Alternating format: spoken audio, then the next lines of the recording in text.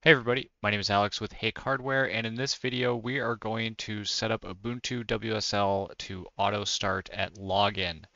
So this actually solves two problems that I have. One is that I hate having to start Ubuntu uh, in my terminal in order to get it running.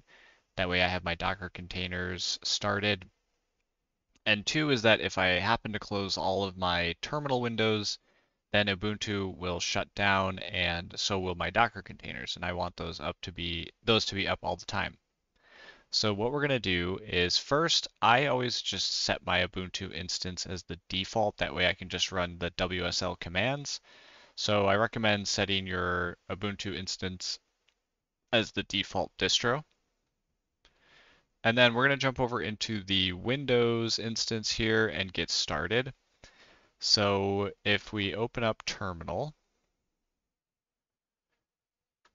we can basically check to see if WSL is running or you know what distros are running. So if we do WSL-L-V, we can see we have Ubuntu 24.04, but it's stopped.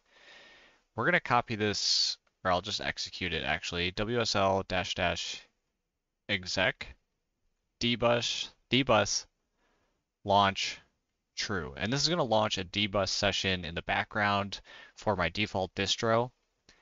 And what's cool about this is it will keep Ubuntu running in the background. So if we give it a second here, we can now run WSL-L-V and we can see Ubuntu is running and I don't have any terminals up. If I close out of everything, it's still going to be running in the background, which is amazing. I can open up my uh, window here and I can go to Portainer and log into my Portainer instance, and it's going to stay up. And all my Docker containers that I add to here will continue to run. But the first problem still remains. I want this to happen automatically. And we can do that by using the task scheduler to execute that command at login. So I'm going to go into the search, type in task scheduler, and then select the task scheduler.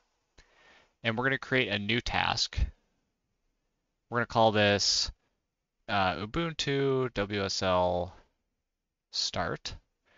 And we want to run with highest privileges and then go to triggers, new trigger. We want this to go at login. So every time we log in, we should keep this enabled. So make sure enabled selected. It should be by default. Actions. Click new. And this is where we're going to set up we want wsl.exe. And there's going to be some, the rest of it is basically that dash dash exec. You can copy it from the wiki, which will be linked in the description of the video. And then we can just say, okay. So now at login, this command is going to run, and that's going to make sure Ubuntu is running in the background. Conditions, I always just unselect everything. Settings, I always add run task as soon as possible after a scheduled start is missed. Then I'll click OK. And uh, let's see. So we can explicitly shut down WSL if we still need to. So if we go into terminal and I do WSL-L-V, we can see that it's still running, but you can do WSL-shutdown.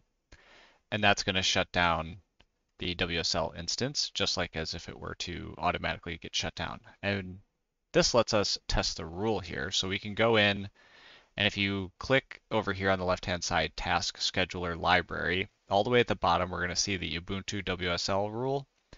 Right-click and do Run. This screen is going to pop up for a little bit because if you saw before when you start WSL, there is a little bit of a delay.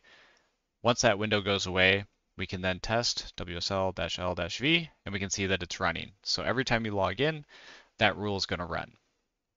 Okay, so that'll keep everything hopefully working well. Unfortunately, there's no like built-in way to enable this, uh, so this is kind of a workaround that I've been using. If this was helpful, please feel free to leave a like, and I'll see you in the next video.